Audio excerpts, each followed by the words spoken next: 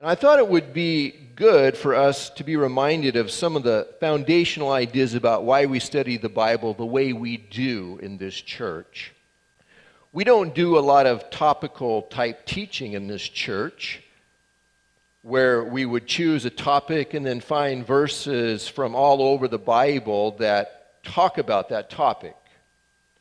That kind of teaching can be really helpful sometimes, but there is a potential danger in that approach the Bible can become a collection of life principles rather than a grand overarching story of God interacting with and redeeming people.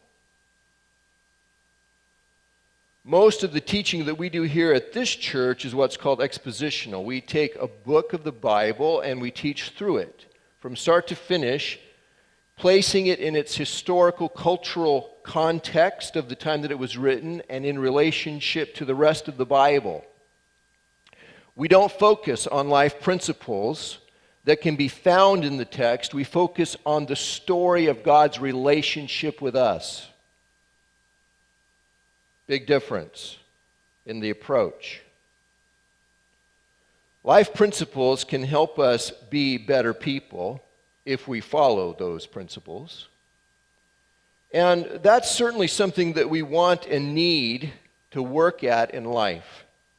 But life principles cannot and will not save us. We need the life transforming touch of God's Spirit. We need to know Jesus Christ. We need to be in relationship with God who made us and who will change us himself from the inside out as we spend time with him and allow him to have more and more access to us.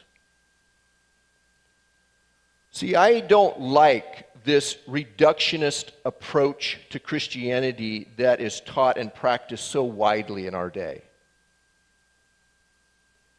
boiling our relationship with God down to sets of principles, I think is insulting to God.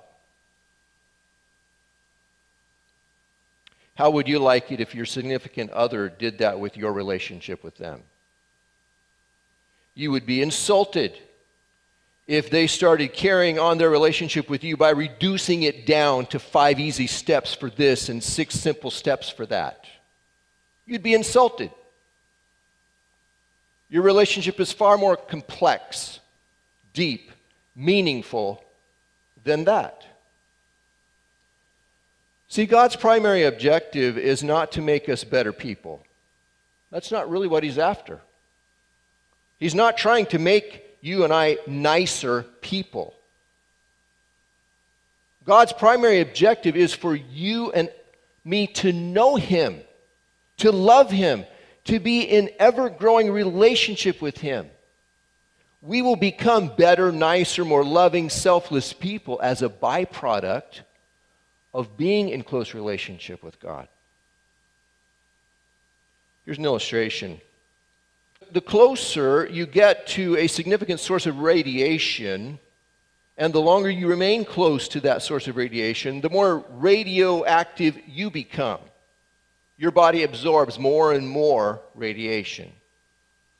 And in a similar way, but in a good, life producing way instead of a bad, life threatening way, the closer we get to God and the more time we spend with God, the more Christ like we become. We absorb more and more Jesus, becoming more and more like Him. We are in such a hurry all the time. We're always looking for immediate results and quick solutions. But a rich, beautiful, Christ like soul is not built in a few weeks or a few months or even a few years. It takes a lifetime. It takes a lifetime.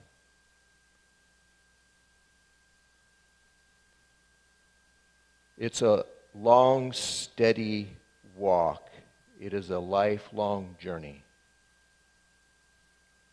I want to encourage us let's slow down inside and take the hand of our loving Father, the shepherd of our soul, and let Him lead us to green pastures and beside still waters. Our lives are filled with hurry. Don't let your relationship with Jesus Christ be infected by that same attitude. Let your relationship with Christ be your oasis of rest and peace and joy. That's what it's supposed to be.